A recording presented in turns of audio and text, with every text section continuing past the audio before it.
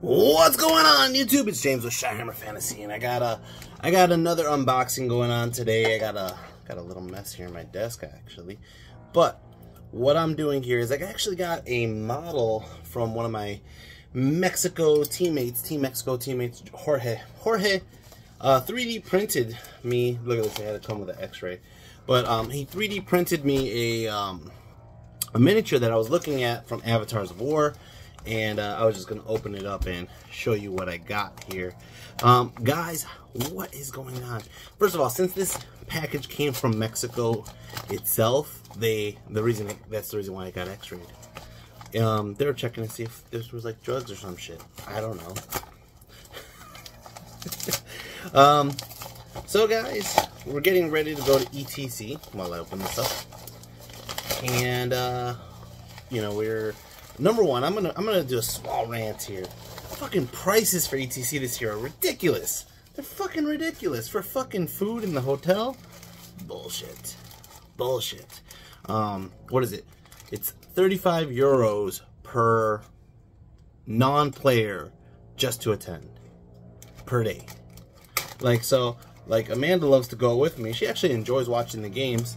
Doesn't have any real reason to be there, but besides playing, you know, watching me play and hanging out. And that's 35 euros a day. A day. And they try to say it's for the food, man. Man, go to McDonald's. Oh, that was a bit. So, a little spiky bit here. I'm going to hold on to that because I don't know where it goes to just yet. So, unfortunately, my unboxing here, I have a lot of little packages going on. But more or less, let's see how the um, it came out. This is the Avatar of War Goblin Warlord. And it came out wonderful. It came out really high quality. Holy shit. For a 3D print, I wasn't expecting it to be this crisp. Now, there's a few things, bits and bobs I see on him that I need to like shave and whatever, but that's just normal modeling stuff. This, I gotta say, is impressive. I love it. Thank you, George. Jorge, for those of you who don't know Spanish. I don't know Spanish really that well, but it's from Jorge. Alright. but it's, uh, yeah, Avatar's a, a war goblin chariot. This is a little goblin rider. He's going to be holding a, I believe it's a flag. Where's my camera? There we go. Focus on him, not me. Stop focusing on me, man.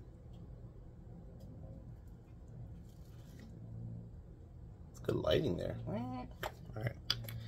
Let's see. Um, let's see. Besides ETC being expensive, uh, got a couple games in. I went to the Dice Dojo, and oddly enough, this is the not the first time I've heard it recently, but several times I've heard it. People were talking about how people I played against have been talking about how they miss edition 1.1 of the rules. One of my friends says I don't understand why they keep changing the rules on certain things when there's absolutely nothing wrong with the rules. His response from the T9A team was, well, because people take it. Well, people take it doesn't mean that there's anything wrong with the rules. it just means that that's the point cost of, uh, or that's like something people enjoy playing. I kind of understand where he's coming from. Um, a lot of the stuff that I would take uh, in previous years, people would use it because they would see it in a video of mine. They see it, they want to play it, and all of a sudden it gets nerfed or such. So this is an Orc Warlord. Look at this guy. Whoa. Look at this guy. He is fucking spiky. Spiky motherfucker. And again, I just gotta say, this is incredible 3D modeling, Jorge. You know? There we go. We'll just leave him right there. There's a shy ambulance in the background if you guys can't hear it. This is one of the uh, wolves on the chariot. Still picking up my face here. I can't get him. Sorry. I'm trying to get it to focus on him, not me. Alright. This is just chariot bits. This is the flag that goes with the other guy which I love flags because it gives me something to paint on there. Don't know whose arm this was, but I'm going to put that to side. I know it's been a while since you heard Shy Ambulance. That's not actually a Shy Ambulance. That's a that's a full-on fire truck. Could be coming here. It did not come here. It did actually did not stop here. Alright. But um one of the fun things about this is um whenever I have lists that I'm making or whenever I decide to um, go to a tournament and try something different, it inspires me to paint and model. Right, here's another guy, his arm seems to be broken, or his hand should be broken, but I think it's here. I have little bits. But there's another goblin riding the chariot. I have a couple bits here. I am afraid I'm going to lose these bits. I need like a little box or something.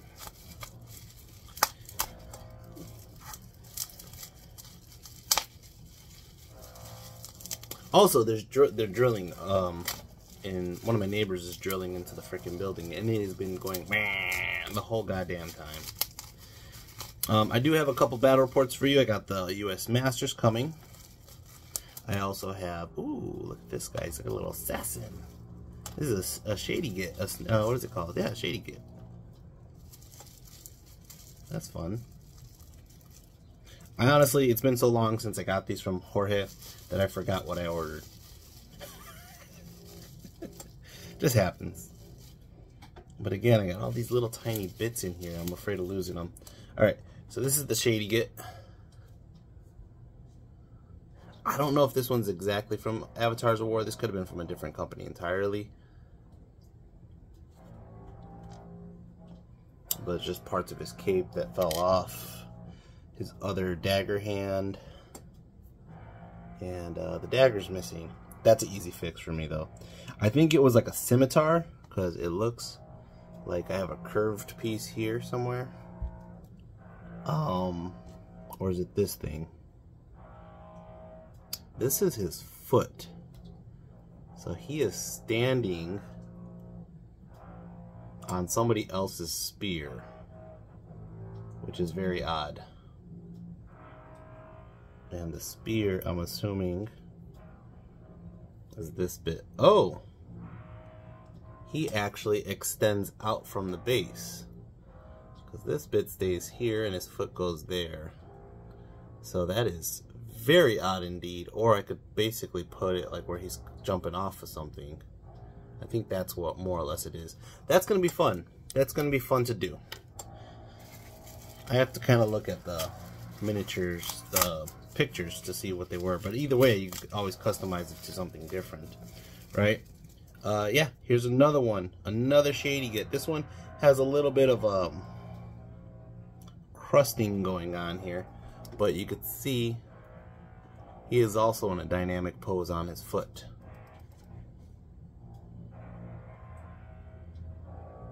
Focus on the hand.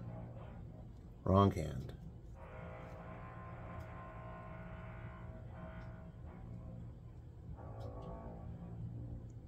Alright. Got some new stuff to paint. I also have some stuff that I have to paint for uh, Joseph Abel. This is uh, from um, Dungeons and Drakkenheim.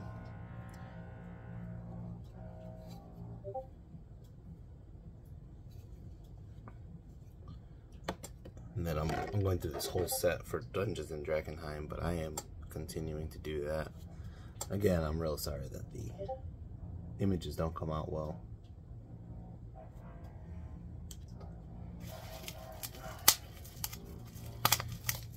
So I am having uh, bidder's remorse here. I bid for Amsterdam because I figured Amsterdam would be a fun time. You know, I have a lot of potheads on my team, and uh, they would probably appreciate going to Amsterdam, right?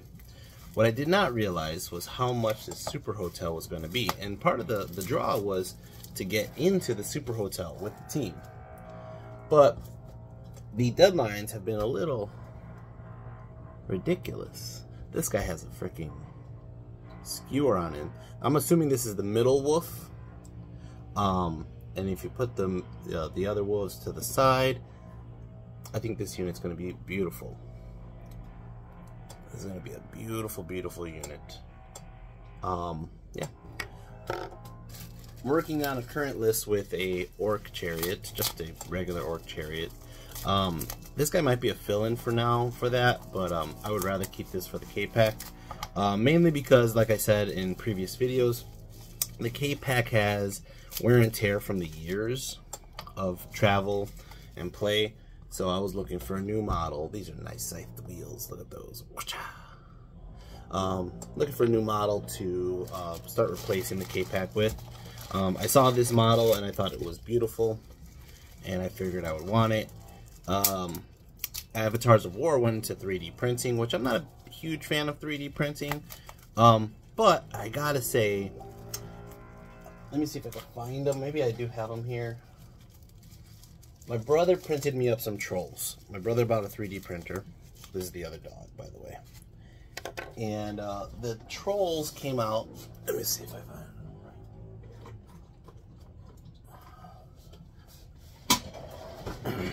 the troll came out with all these little like rough bits, right?